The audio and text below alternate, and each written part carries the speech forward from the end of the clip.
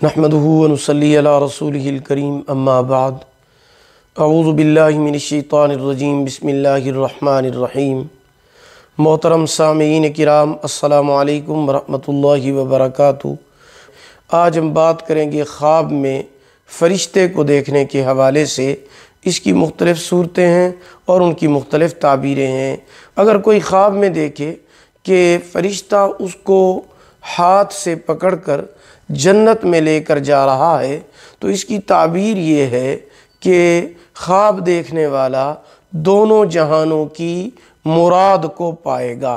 ख्वाब में दोजक का फरिश्ता देखना, मुसीबत में गिरफ़्तार होने रिस्क में तंगी होने और तकलीफ़ होने की अलामत है। ख्वाब में फ़रिश्ते को घर में आते हुए देखना, माल दौलत बेशुमार पाने, खैर बरकत होने, नेक बेटा पैदा होने की अलामत है। ख्वाब में फ़रिश्ते से बातें करना इन साहिब ख्वाब शहादत से सरफराज होगा। ख्वाब में फ़रिश्ता देखना, हिदायत पाने, दौलतमंद गनी बुलंद मरतबा बुज़ुर्ग होने की अलामत है। ख्वाब में मौत का फरिश्ता देखना, मुसीबतों बीमारी आने और मौत की अलामत है। ख्वाब में आसमान से फरिश्तों को उतरते हुए देखना।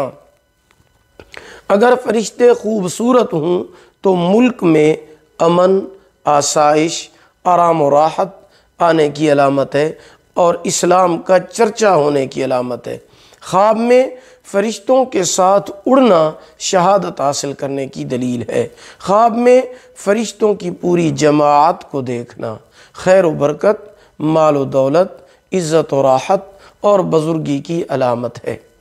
अगर आपको हमारी ये वीडियो पसंद आई हो, इसे लाइक भी करें, सदका जारिया समझकर शेयर करें।